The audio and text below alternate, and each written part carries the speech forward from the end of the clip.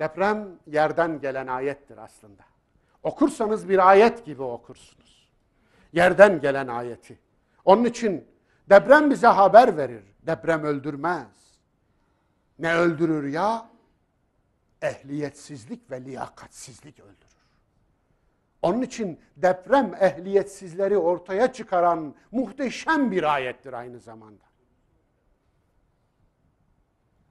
O malzemeden çalındığını söyler bize. Bak bu inşaatta betondan çalınmış. Bu inşaatta demirden çalınmış. Bu inşaatta çimento kalitesinden çalınmış. Bu inşaatta metre küpe metre mikaba şu kadar beton, şu kadar torba kullanılması gerekirken yarım torbayı, bir torbayı iktisat edeceğim diye aldın, çaldın.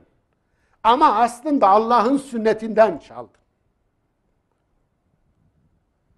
Ey belediye, rüşvet aldın. Ve burayı denetleyecek bir makam iken içindekilere mezar yapma vebali biraz da senin omuzuna. Ey denetleyecek olan mühendis. Bunların katili bir parça da sensin. Zira denetlemeye geldin, bir yemeğe tav oldun. İşini yapmadın. Ey bu denetleme kanunlarını çıkaranlar, yasaları çıkaranlar, bunların katili biraz da sizsiniz. Doğru dürüst yasa çıkarmadınız. Doğru dürüst onları denetleyecek kurumları koymadınız. Vesair silsile halinde en aşağıdan. Ey evin sahibi! Acı patlıcanı kıra çalmaz dedin, bana bir şey olmaz dedin, bize bir şey olmaz dedin. Ve içindekilere mezar yaptın. Ey kiracı! Galeri yapacağım diye kirişleri yıktın. Lentoları yıktın. Ve binayı taşıyan ana taşıyıcı sütunları yıktın, galeri yaptın. Yani para kazandın, kazandın, kazandın, 45 senede kazandığını 45 saniyede yok ettin.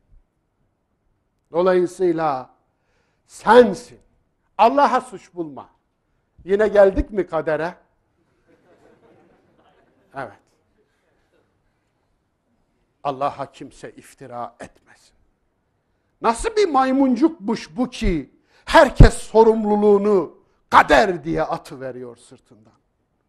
Nasıl bir maymuncukmuş bu ki ehliyet, liyakat, sorumluluk, takva, kader deyince yok veriyor. Nasıl bir maymuncukmuş ki bu Allah'a da, kendine de, iradene de, insana da, dine de, imana da, Kur'an'a da iftira ediyorsun.